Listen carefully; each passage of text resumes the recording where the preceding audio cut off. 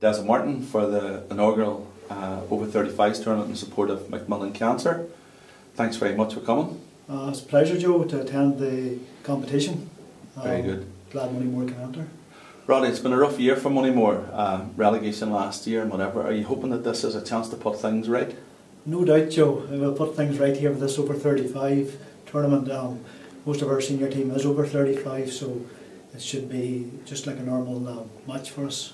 Um, tell me some of the players that are, are going to talk out. Well, apart from the current senior team, we're going to bring home a few boys like from Mickey McGurk, um, ex MacRory Cup star, and Peter Young, ex Minor star there. We're going to get him transferred back from Booker Felt, and hopefully Peter can play a few games or a few minutes for us as well.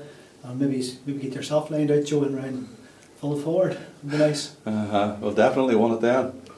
Uh, what about Big Eugene Young? Any word of him coming out? Eugene, unfortunately, has a bad knee injury at the moment, but we're hoping maybe his operation will be done on time and we'll get him in for the last 10 minutes of the game. If it goes to extra time, maybe we'll get Eugene in. Bit of rehab. Well, hopefully.